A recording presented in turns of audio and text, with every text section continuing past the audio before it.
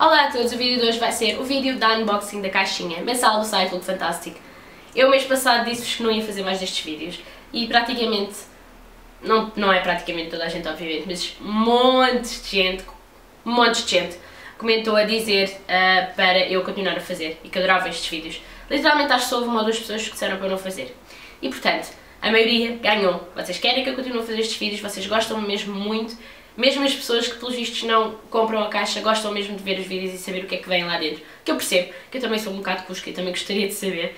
E portanto, hoje vamos abrir a caixa do mês de junho. Que obviamente eu vou abrir para vocês, mas obviamente eu já tentei experimentar uh, alguns dos produtos. Alguns ainda não experimentei, sou sincera, mas já experimentei alguns. E vou-vos dar um bocadinho a minha review da caixa. Portanto, vamos começar. Ora, como já vos mostrei, a caixa é assim. Gosto imenso desta caixa assim meio galáctica, adoro, e os rosas, etc. E diz Wanderlust, uh, portanto, o meu primeiro pensamento foi traz coisas boas para viagem. E depois, pronto, traz a, a frase deste mês que eu ainda nem tinha visto. She believed she could, so she did. É verdade. a, a, revistinha que trazem todos os meses, mais a mini L que já está na sala. E depois temos o papel vegetal, como sempre, e deste mês é assim, tipo violeta, azul, bebê. Este mês temos 6 produtos, mais uma vez é uma quantidade boa. Temos, uh, vou pegar alguns produtos assim meio uh, à toa, random. O primeiro produto que temos aqui na caixinha é da Kerastase, que é uma marca que eu adoro e acho, acho que muita gente gosta. É uma marca muito conceituada em produtos de cabelos. Este é o Elixir Ultim, Ultim Óleo Complex Shampoo Cleansing Oil. Este é um dos produtos que eu ainda não experimentei. Traz 80 ml, que é bastante grande. Claro que isto não é um tamanho full size, obviamente, mas 80ml é um tamanho bastante bom para experimentar shampoo e quer a ser uma marca bastante cara, portanto eu sinto que isto é um produto que até, mesmo em 80ml, é um produto que até me cheiria um bocadinho caro, vá. Uh, este é um dos produtos que lá está, ainda não experimentei, basicamente é um cleansing oil shampoo para todos os tipos de cabelo. Supostamente é para deixar o cabelo limpo, mas é em óleo. Estou um bocado suspeita, eu sou um bocado suspeita, fico logo suspeita com produtos assim em óleo, para o cabelo, porque eu tenho cabelo super oleoso e óleos metem-me um bocado de medo de meter no cabelo, mas eu vou experimentar. Cheiro super bem, é aquele cheiro típico que era a Stasse. E pronto, eu dir-vos-ei algo quando experimentar, se já experimentaram, digam-me por favor o que é que acharam deste produto. Ora, o próximo produto é da Monoskin, já recebemos esta marca anteriormente. O deste mês é um produtinho que é o Mono Spa Rosewood Reviving Mist e diz que é uma bruma revitalizante ou bois de rose. O meu francês é péssimo, ok? Isto tem 40 ml, portanto é um tamanho bastante generoso para spray fixador. Normalmente eles andam entre os... não quero mentir, mas eu acho que eles andam entre os 100 ml cada spray fixador. Dependendo, obviamente, da marca. Estou a falar de um MAC Fix Plastic, acho que é 100 ml e o Infallible também penso que sim. Acho que sim. Se não é 100 ml é perto. Pronto, este é 40 ml, portanto é bom. É um tamanho bom. Diz basicamente para experimentar, portanto, sprayzar a cara. Eu uso sempre esta expressão, eu sei que isto não é uma palavra certa, ok?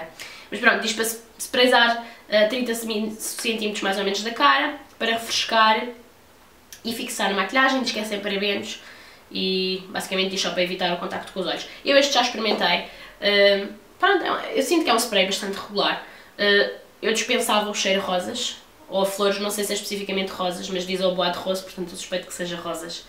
Eu, eu dispensava, obviamente, o cheiro a flores, porque se prezar literalmente uma coisa com cheiro a flores na minha cara é algo que eu não gosto. No entanto, eu sinto que ele, é, pelo menos refrescante é. Realmente eu não senti ainda grande diferença em termos de fixar a maquilhagem e durar mais tempo. Sinto que a maquilhagem fica com um aspecto bonito e como, como um bocadinho aquele excesso de pó, mas em termos de durar mais ou não, ainda não senti bem diferença. Pronto, não é um produto mau, lá está, o cheiro a rosas eu, hum, eu dispensava, mas pronto, de qualquer das formas é um bom produto e bastante grande, tendo em conta que é quase metade de um full size. E ainda temos algo que, hum, pronto, vocês, vocês sabem que eu não sou muito de glosses, especialmente assim glosses tão nudes como este. O próximo produto é o gloss que eu tenho na minha boca, que é da Hailey Baldwin uh, For Model Co, portanto é um mini gloss nude Hailey Baldwin, que é uma modelo filha de um ator, que linda por acaso, fez uh, em colaboração com a marca Model Co.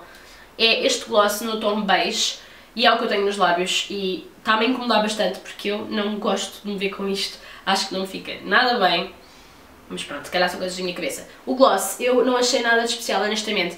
Não é, é pigmentado, mas não é um pigmentado uh, opaco, portanto se nós aplicarmos uma segunda camada por cima ele vai arrastar o que está por baixo e isso chateia um bocado. É um gloss um bocado pegajoso e é uma cor que para mim não, não resulta. Esta cor comigo não dá. Pronto, lá está. Quem gosta de gloss assim mega nudes, mega nudes e gosta destes tons, ele realmente deixa um brilho bonito e ele cheira muito bem. Isso eu devo dizer. Isto a mim cheira-me gelado de morango. Mesmo, é awesome. Ou milka, aquele chocolate milka que tem moranguinho lá dentro e iogurte de morango. Será iogurte de morango ou gelado de morango? Mas é qualquer coisa de morango. Cheira muito, muito bem. Uh, mas pronto, lá está, eu esta cor está-me a incomodar, eu estou com ela no vídeo, não porque eu gosto de ver, eu estou com ela no vídeo para vos mostrar como é que ela fica.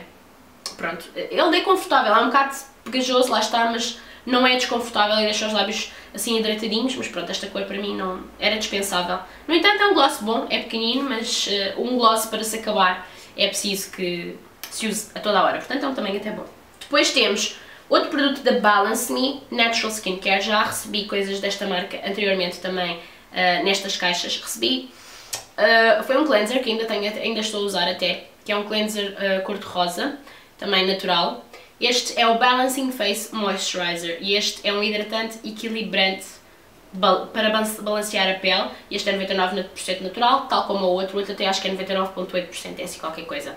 E diz que é um lightweight, uh, portanto leve, hidratante, rico em antioxidantes, vitamina E, para balancear e hidratar a pele. E diz também, na, na revistinha dizia que tinha vários tipos de óleos diferentes para hidratar a pele. Assustou-me um bocado, pensei, ok, vou ficar mega oleosa porque este hidratante, o Oil Free, aliás, tem, tinha tipo acho que dois tipos diferentes de óleo, se não estou em erro. Deixem-me lá confirmar.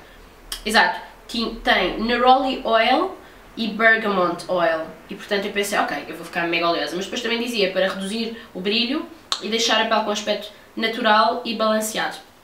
A verdade é que eu gostei bastante. Gosto bem mais deste hidratante do que, por exemplo, do cleanser que nos mandaram há uns meses atrás.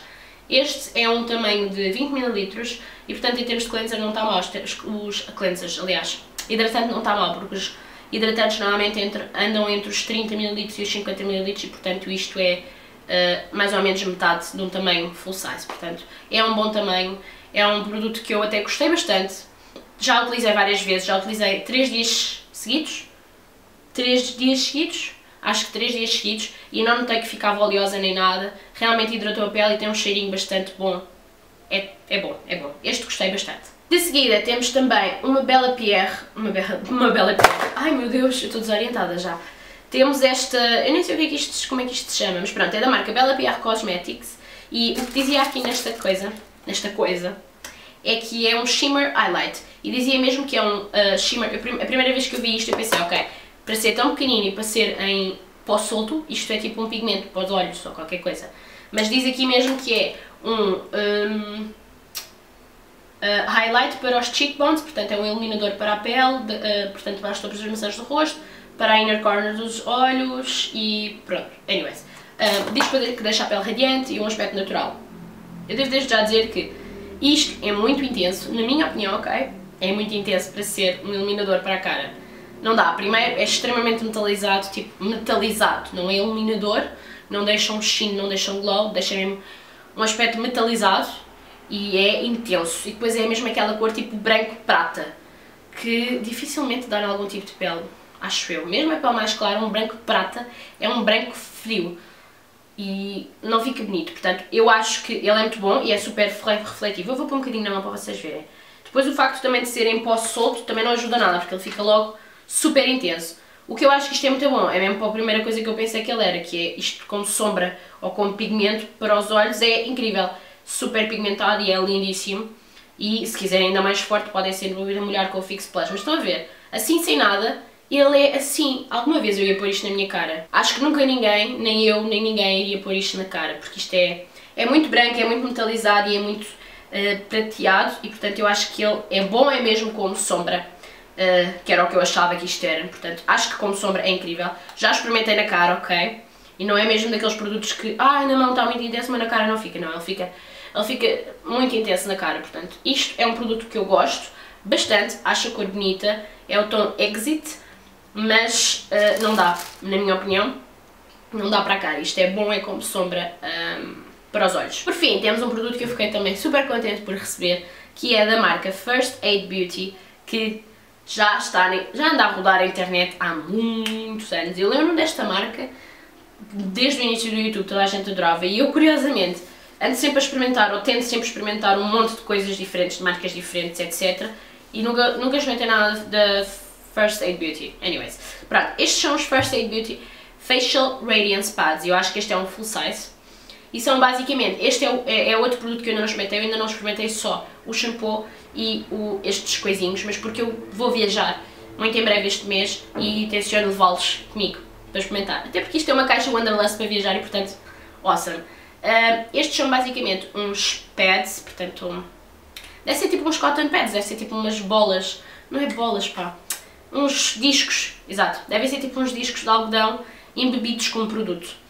Ele diz que esfolia, tonifica e ilumina a pele, portanto isto deve ser ótimo para on the go, um, passar na cara e tipo limpar on the go. Diz mesmo wipe pad across the face, neck and décolleté, twice or twice daily after cleansing. Ah, portanto isto é só depois de cleansing. Diz também que é alcohol free, o que é bom, é sem álcool, portanto não vai secar a pele. E o que é que ele diz mais? Que eu já não me lembro. Ele também diz que... Hum, não diz nada mais de especial. Tem ácido glicólico e láctico, que ajuda a revitalizar e refrescar a pele, e principalmente nos aviões, isso é ótimo. Mesmo a pele mais oleosa como eu, precisa sempre assim destas coisas. E portanto, este é outro produto que eu ainda não experimentei, mas tenho de experimentar muito em breve. Mas lá está, é uma marca que já se ouve falar há muito, muito tempo aqui na internet. É geral que a marca tem coisas bastante boas e portanto eu estou à espera de coisas boas disto. E é produto full size, o que é ótimo, ótimo, ótimo, ótimo. E pronto, é este vídeo, espero que tenham gostado. Tentei experimentar, eu sei que com os produtos de skincare, quando vêm nas caixinhas, eu raramente experimento os produtos, eu este mês tentei mesmo experimentar alguns antes de fazer este vídeo, mas também não queria que o vídeo fosse para o ar muito tarde e portanto não consegui mesmo experimentar tudo, tudo, tudo. Mas espero que tenha dado alguma mini review interessante espero que vos tenha ajudado e se receberam a caixinha este mês, digam-me abaixo nos comentários qual é que foi o vosso produto favorito e espero que tenham gostado. Estou ansiosa por tirar este gloss porque não estou nada a gostar de me ver com ele e espero que tenham gostado do vídeo. Não se esqueçam de se inscrever para o canal e até o próximo vídeo.